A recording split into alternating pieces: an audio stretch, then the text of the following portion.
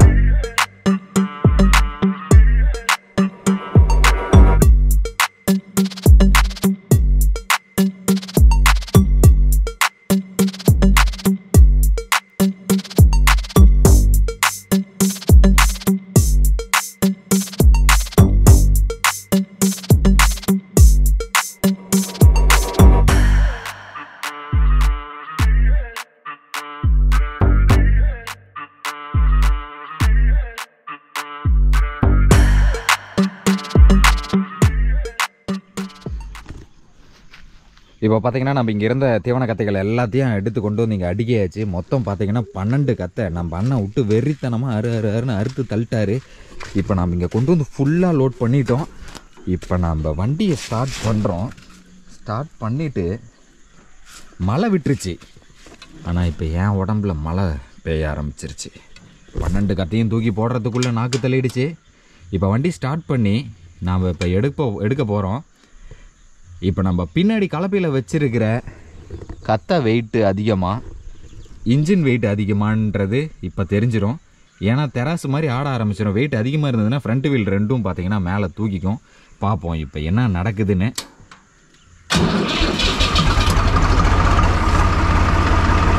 தூக்க போகிறேன்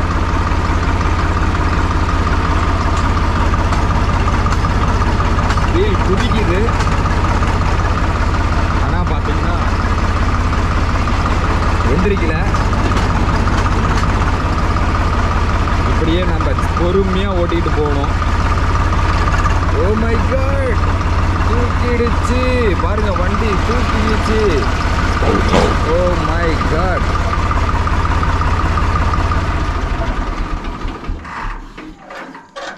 வாய்ப்பே இல்லை. வண்டி நெவுறாது. ஃப்ரண்ட்டில் ஒன்றா லோடு வைக்கணும். அப்படி இல்லைன்னா பின்னாடி இருக்கிற கத்தைகளை கொஞ்சம் இறக்கி காலி பண்ணணும். ஏன்னா வண்டி என்ன பண்ணுது? நெவுற மாட்டேங்குது.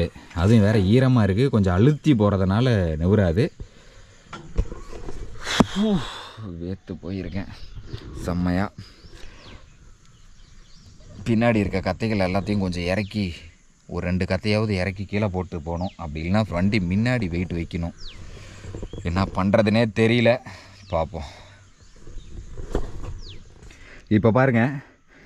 கத்தை ஒன்றை தூக்கிட்டு வந்து முன்னாடி இன்ஜின் மேலே வச்சுருக்கேன். ஒரு வெயிட்டை பேலன்ஸ் பண்ணுறதுக்காக இன்ஜினியரிங் படித்தது எது எதுக்கெலாம் யூஸ் ஆகுது? ஆ?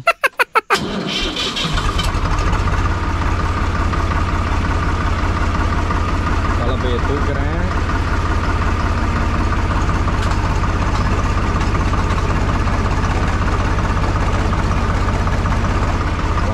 வண்டி ஃபஸ்ட் கியர் போட்டேன். மூவ் பண்ணிட்டேன். அப்பாடா. அப்படியே லைட்டாக குதிச்சு குதிச்சு பார்த்தீங்கன்னா நம்ம பைபிளில் போயிட்டுருக்கோம்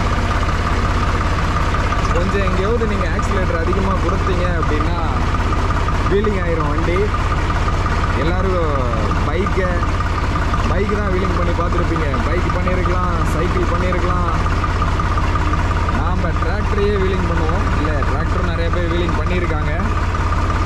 அப்படியே சிக்கு சிக்கு சிக்கு சிக்குன்னு பொறுமையாக போக வேண்டியதான் இந்த ஒரு கத்தை வந்துட்டு எவ்வளோ வெயிட்டை பேலன்ஸ் பண்ணுது பாருங்க. இவ்வளோ வெயிட்டையும் அந்த ஒரு கத்தை பேலன்ஸ் பண்ணல. இன்ஜினோட சேர்ந்து அதுவும் அது வெயிட்டை பேலன்ஸ் பண்ணிட்டு இருக்கு. செம்ம மழை. இந்த பக்கம் பாருங்க தீவனக்காடு எல்லாம் வந்துட்டு நல்லா வளர்ந்து ரெடி ஆகிட்டு இருக்கு ஆனால் இந்த தீவனக்காட்டுக்குள்ள எல்லாம் தென்னை மரம் வச்சுட்டோம் நாங்கள் அதே மாதிரி இந்த பக்கமும் பார்த்தீங்கன்னா முன்னாடியே சொல்லியிருந்தேன்ல தென்னை மரம் வச்சுருக்கு இந்த கரையிலெல்லாம். வேறு லெவலில் வளர்ந்துக்கிட்டு இருக்கு அதே மாதிரி ஆற்றுலையும் பார்த்தீங்கன்னா தண்ணி ஃபுல்லாக இருக்குது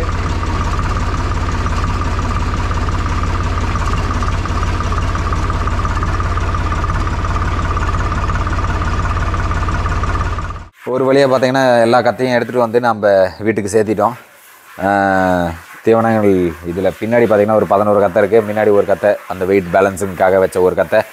எடுத்து வந்து போடுறதுக்குள்ளே போட்டுட்டு கொஞ்சம் வேலையெல்லாம் பார்த்துட்டு எடுத்து வந்து நிறுத்திட்டு போய் வேலையெல்லாம் வேறு வேலையெல்லாம் பார்த்துட்டு வந்துட்டு இப்போ இனிமேல் அரைச்சி மேலே கொட்ட போகிறோம் கொட்டுவோம்.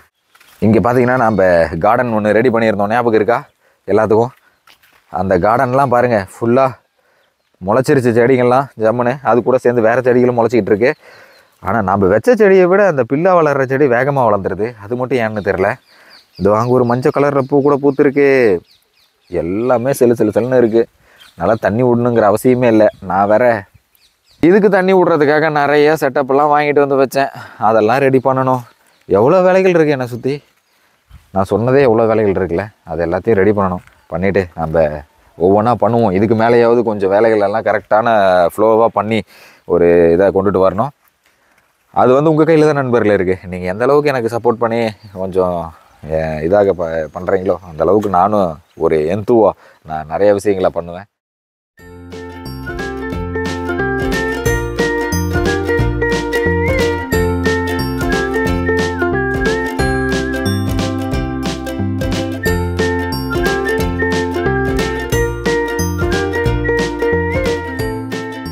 பார்த்தீங்கன்னா நம்ம வந்துட்டு இந்த பக்கம் நலையா தண்ணி தீவனம் நேற்று வெட்டின தீவனம் கொஞ்சம் இருந்தது. ஒரு ரெண்டு கத்தை இருந்தது பெரிய பெரிய கத்தையாகவே அது ரெண்டையுமே அரைச்சாச்சு. இது கொஞ்சம் இன்றைக்கி நம்ம எடுத்துகிட்டு வந்தோம். இதெல்லாம் கொஞ்சம் மலையில் நனைஞ்சு கொஞ்சம் ஈரமாக இருந்தது. அதனால் பார்த்திங்கன்னா அதை அரைச்சிட்டேன். அதுக்கப்புறம் இதுலேயும் ஒரு க ஒரு பொடி உள்ளே விட்டேன். அரைச்சிருக்கேன். இது போதுமானதாக இருந்தது அள்ளி கொட்டுவோம் ஃபஸ்ட்டு ஏன்னா இன்றைக்கி ஆட்டை கீழே இறக்கி கூட போகிறதில்ல அள்ளி கொட்டிட்டு இது போதுமானதாக இருந்தது அப்படின்னா இதோட நிறுத்திக்கலாம். அப்படி இல்லைன்னா இன்னும் கொஞ்சம் அரைச்சி கொட்டிடுவோம்.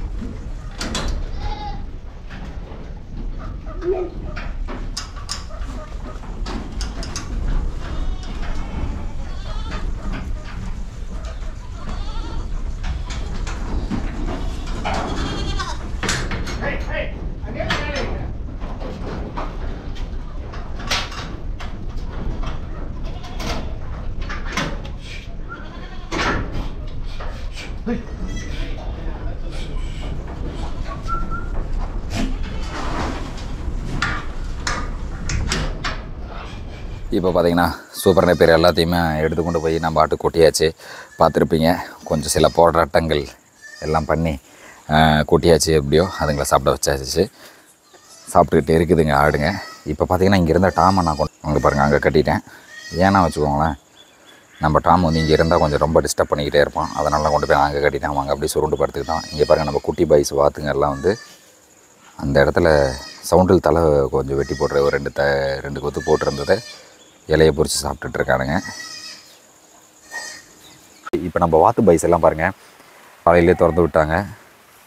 எல்லாம் இந்த பக்கம் போயிட்டு ஸ்விம் பண்ணிகிட்டு இருக்கானுங்க இதில் என்ன ஆயிடுச்சுன்னா இதில் ஒரு வாத்து பை மட்டும் மிஸ் பண்ணி இந்தாண்டியே இருந்துட்டான். இந்தாண்ட போய் இறங்கிட்டான். அதனால் இவன் உரத்தை மட்டும் கத்திக்கிட்டு அங்கே இங்கேயும் சுற்றிக்கிட்டு இருக்கான். அதுக்கு அந்தாண்ட பாருங்கள் அந்த தண்ணி பரவாது. அது தண்ணிக்குள்ளேயே போயிடும் அதை நோக்கி போய்கிட்டுருக்கு அரைச்சி கொட்டுறதுக்கு முன்னாடியே பார்த்தீங்கன்னா நம்ம என்ன பண்ணிட்டோம்னா இது ஆட்டுக்குட்டிங்களெல்லாம் எடுத்து கொண்டு போய் மேலேயே ஆடுங்கிட்ட வச்சு பால் ஊட்டி திரும்ப ஊட்டடிச்சு கொண்டு வந்து கீழே அடைச்சாச்சு. அதை எடுக்க முடியல. ஏன்னா அதெல்லாம் கொஞ்சம் ச கிளைமேட்டு இதெல்லாம் ஒன்றும் சரியில்லைங்கிறதுனால அதெல்லாம் டக்கு டக்குன்னு பார்த்து வேலையை முடிச்சாச்சு. இதுக்கு மேலே மணி இப்பயே பார்த்திங்கன்னா ஆறு ஆகிடுச்சு இன்னும் கொஞ்ச நேரத்தில் போய் எல்லாத்தையும் எடிட் பண்ணி நான் ஏழரைக்கு வீடியோ போடணும். முடிஞ்ச அளவுக்கு நான் போட்டுறேன். எல்லோரும் பார்த்து சப்போர்ட் பண்ணுங்கள் அதே மாதிரி பார்த்தீங்கன்னா நண்பர்களே இந்த வீடியோ இந்த வீடியோவும் கொஞ்சம் நான் நல்லா தான் எடுத்து போட்டிருக்கேன். இதையும் போய் பார்த்து உங்களோட ஆதரவை கொடுங்க. நன்றி.